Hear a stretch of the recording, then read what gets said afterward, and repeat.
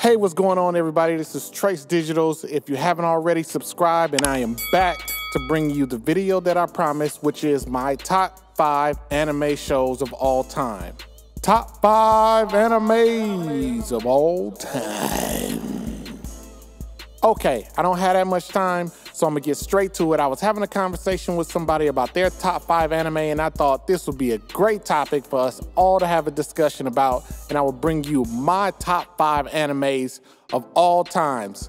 Now, let's start with number five. Number five. Okay, my number five pick of top animes of all time, animes of all time, Animes of all time, animes of all time.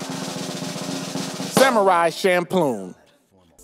If you haven't seen it, you must see it. This is a must see for your brain, for your library, your anime library. This knowledge is a must see. It's a mature anime, somebody around 18, 17. I don't know if you're 16, maybe you need a parent or guardian, but it's an amazing anime. If you're watching JoJo, look, check it out. You can watch this easily. But let's move on to the next one. Number four. My number four selection for all time anime would be Afro Samurai.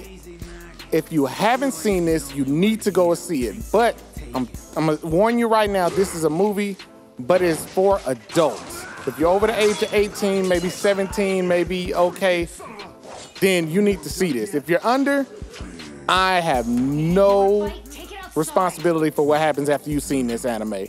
But it's a great, amazing anime, really bloody, really mature. Let's move on to number three. Number three.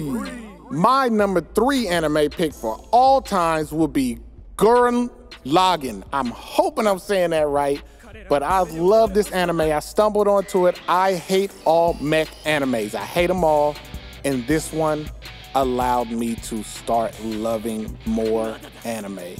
Gurren Lagann is this weird mashup of a fairy tale style mech anime, and I just fell in love with it after the first episode.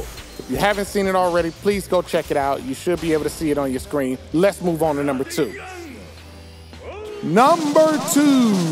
My number two selection for anime of all times, best, best. Did I say that backwards? I think I said it backwards. But of course, it's My Hero Academia.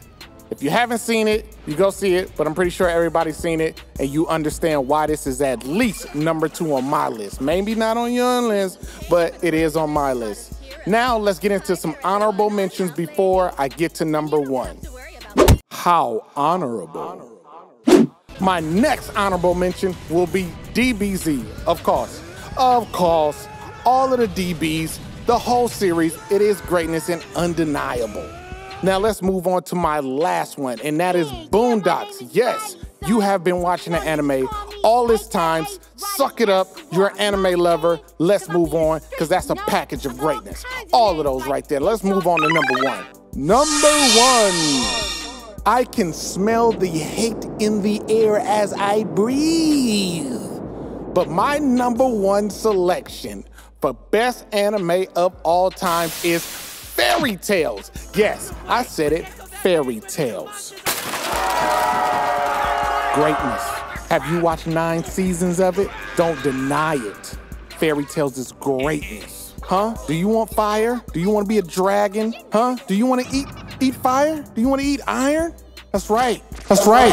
Animes of all time, animes of all time. Every element is like DBZ, Mortal Kombat, and whatever else you want to add, all rolled into one. That's right. But that's my list. If you don't like it, let me know in the comments. And if you got a better list, let me see it down there. And if you want to have a deeper conversation about this, hit me up.